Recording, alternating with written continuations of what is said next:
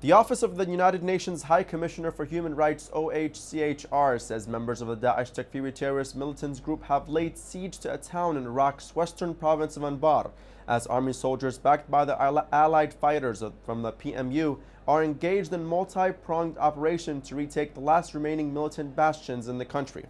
The UN agency, in a statement released on Wednesday, announced that the Takfiris have taken about 2,500 families, equivalent to 10,000 individuals, hostage in Rawah, located about 300 kilometers or 186 miles northwest of the capital Baghdad, to block the progress of the Iraqi forces. The OHCHR also appealed to the Iraqi government and security forces involved in the Rawah Operation Liberation to intensify humanitarian efforts and open safe exit routes for civilians to frustrate terrorist schemes aimed at using ordinary people as human shields. Late last month, Iraqi Prime Minister Haider al-Abadi formally ordered the launch of operations to purge the towns of Rawah and Qa'im from Daesh Takfiri terrorists.